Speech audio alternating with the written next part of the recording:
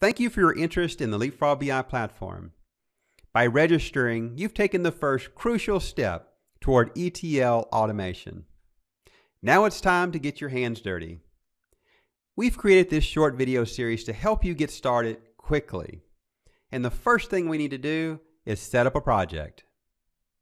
In this Getting Started video series, we're going to guide you step by step through the process of taking data from a data source and loading a single dimension. In this first video, we're just going to get things set up. So to get started, navigate in your favorite browser to leapfrogbi.com, hover the platform menu item and select Login.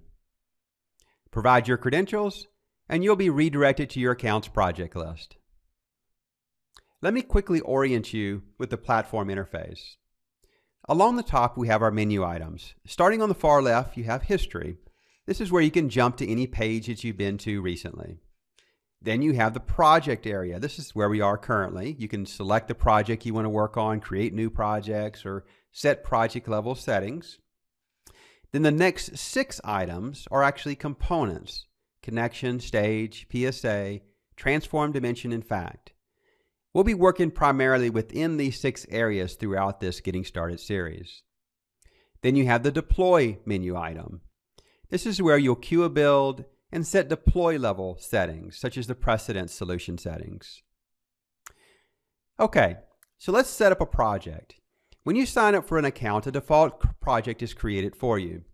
You can work within this default project if you like, or you can create a new project by clicking the New Project button. I'm going to work within the default project, but first I'm going to give it a friendly name and description. All right, now our project has a name. Let's go ahead and set the target system. The target system tells the project which version of SQL Server you'll, you will be deploying to. I'm going to deploy to SQL Server 2016.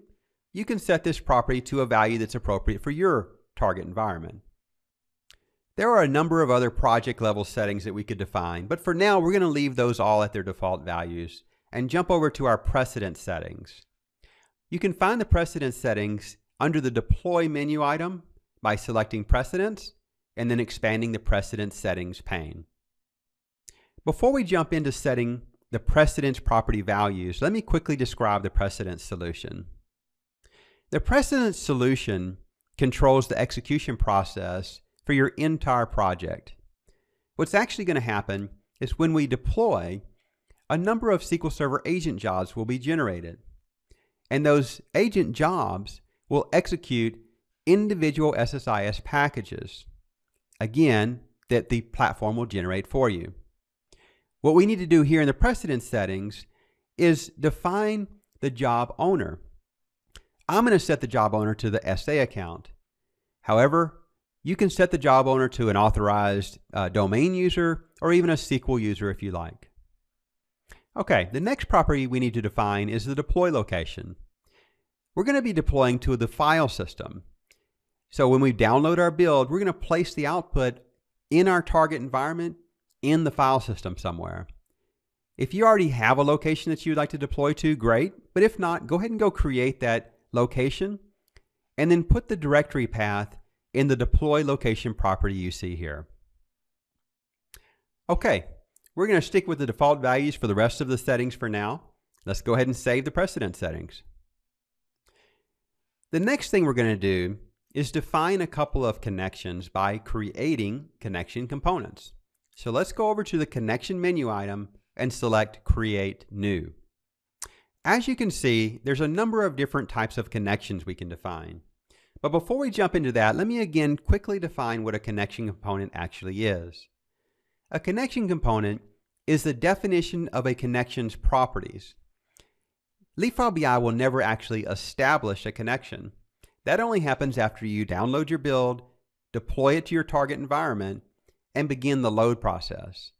Here, we're simply defining the properties of a connection.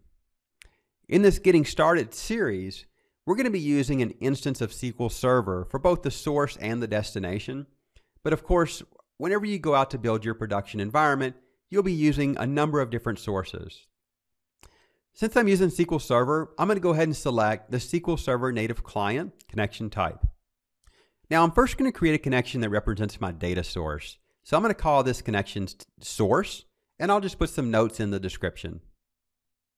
Now I'm going to jump down to the connection properties and set the connection's server name and database. Now in my case, I'm deploying to a named instance of SQL Server, so my server name is going to be a server name slash instance name. If you're deploying to a default instance of SQL Server, then you'll just provide the server name. For the database name, go ahead and enter the name you see here. In the next video, you're going to be provided a script that's going to actually create this database for you that's designed specifically for this Getting Started video series. Okay, that's it. Let's save our connection. Now we can do the exact same thing for our destination connection. This time, I'll call the connection destination.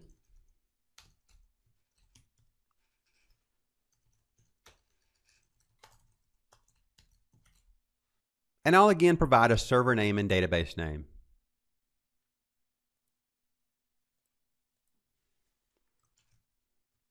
Save the connection, and we're done. Just like that, we have a couple of connection components defined. We've done everything we need to do now to begin the process of creating a data flow that loads a dimension. And that's exactly what we're going to do in the next video.